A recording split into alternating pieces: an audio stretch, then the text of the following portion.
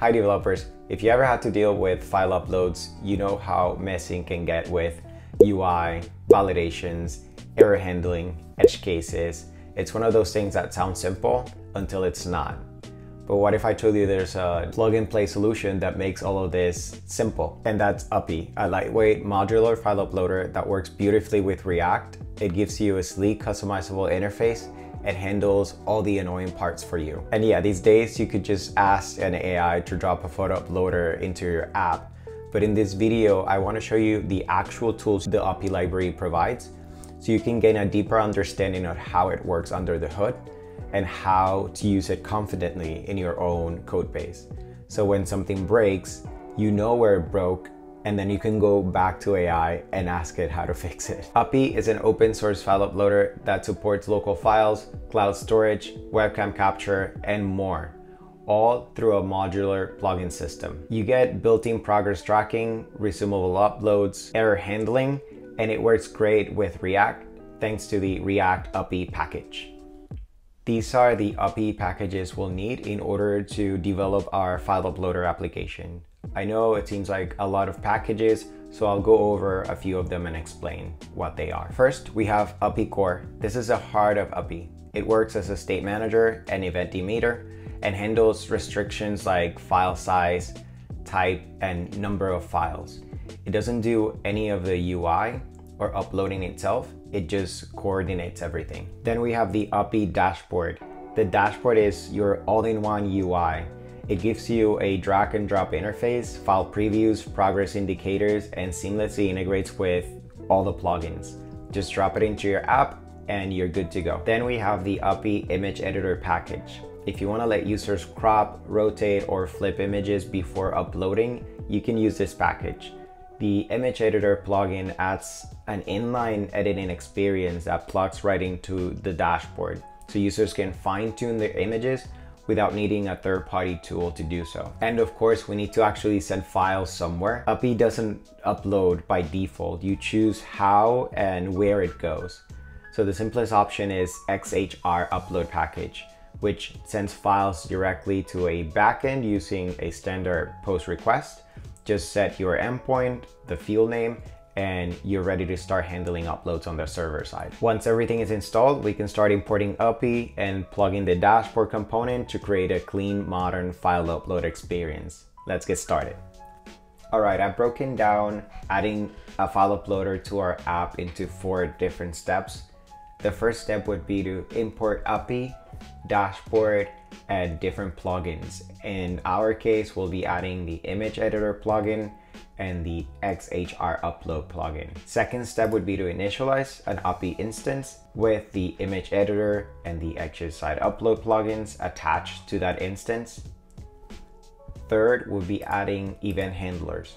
These are event handlers that will allow us to take actions whenever we upload a new file, whenever there's an upload error, or if the upload is complete. And then finally, we'll be adding our dashboard component to our app. And the entire code for this application can be found in the GitHub repo link attached to this video. So let's start with step one, importing Uppy, dashboard, and its plugins. So we start with importing Uppy from the Uppy core package. Then we'll also be importing the dashboard component from the Uppy React library. We'll also be importing the two plugins, Image Editor and XHR plugin. The image editor allows the user to edit their image before uploading them and they can edit right into the editor without any other third-party tool. Then we'll be adding or importing XHR upload so we can actually send those files to the server side to be uploaded. And something important to remember here is adding the styling like so, so we can actually see the styling coming from the Uppy library being applied to the dashboard component. Now let's get to step two, which will be initializing our Uppy instance and attaching the plugins, which are the image editor and the exit XHR upload plugins. So this second step will be broken down into, into three steps pretty much. On the first one will be initializing the Uppy instance. Then we'll be configuring that Uppy instance and attaching the plugins into that Uppy instance.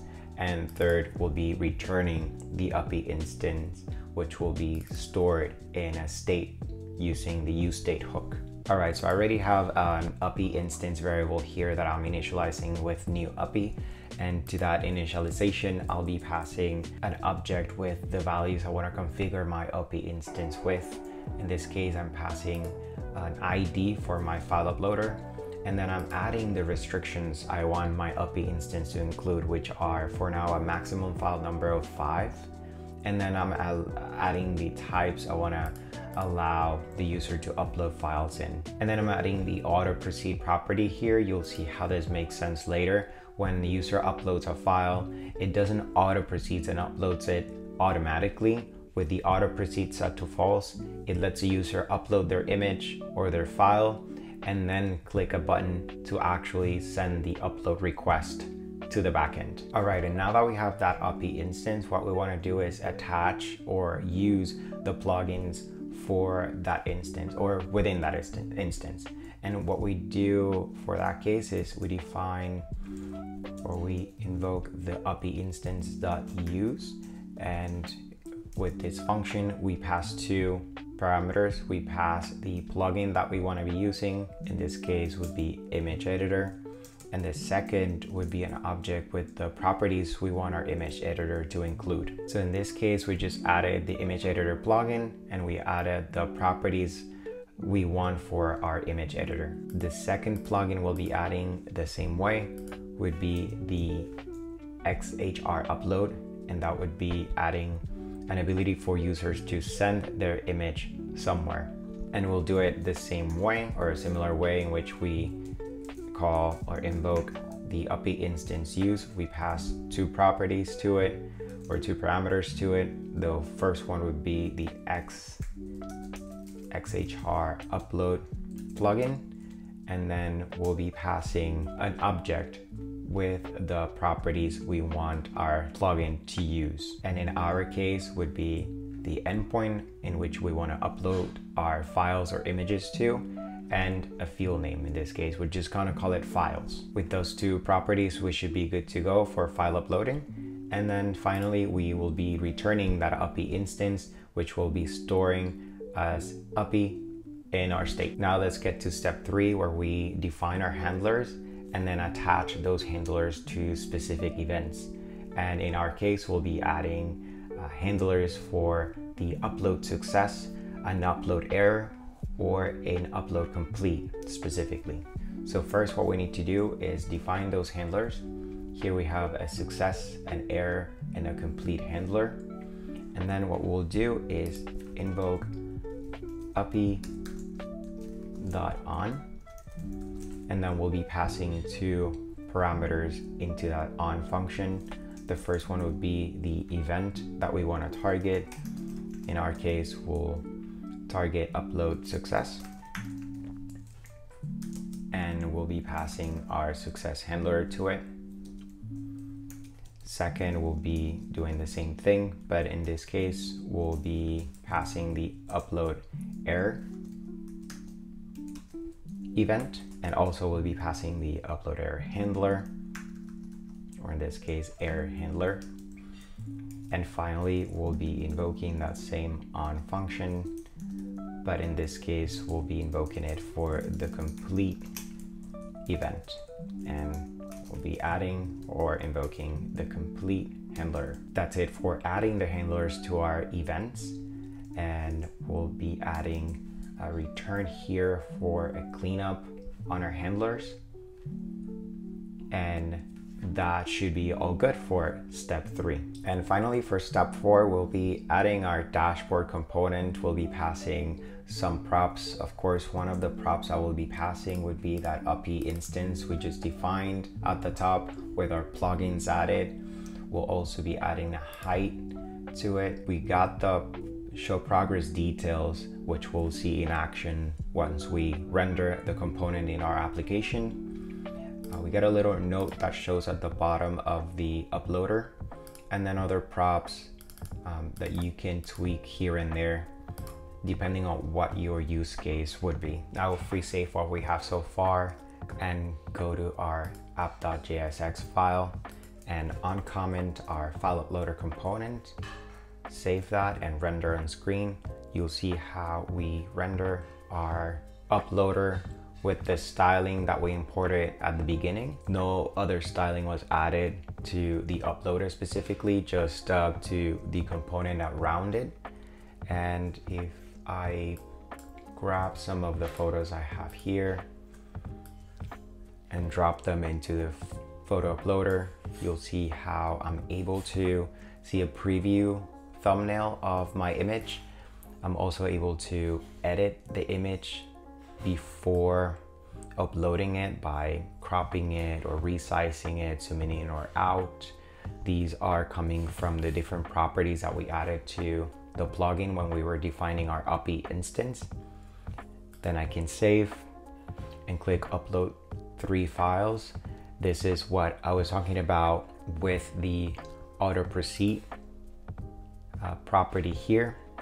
Since this is set to false, I'm able to see a preview of my images and then see the upload three files button here. So when I click it, I'm able to see the upload happening and a status indicator for each one of the images. Uh, as you can see, I can add more and go browse my files or drag and drop more files so I can keep adding to my photos that have been uploaded.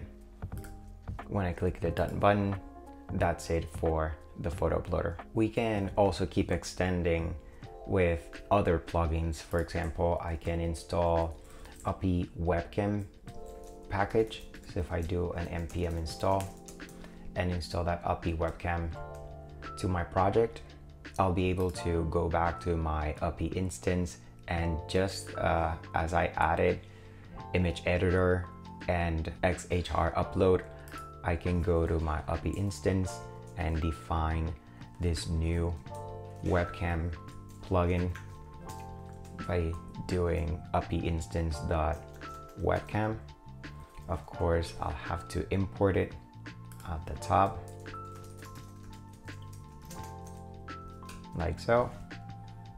And then I'll take this one here and add it over here as a plugin. And as you can see now with that webcam plugin, you have my device folder that will take you to your computer's device or your device's files. And you also have a camera plugin here to allow the users to upload photos directly from their device. In this case, could be a laptop or a mobile device. So there you have it, a complete customizable file uploader with just a few lines of code. I hope you now have a solid understanding of how Uppy and its components work together to help you deliver a smooth, polished upload experience for your users.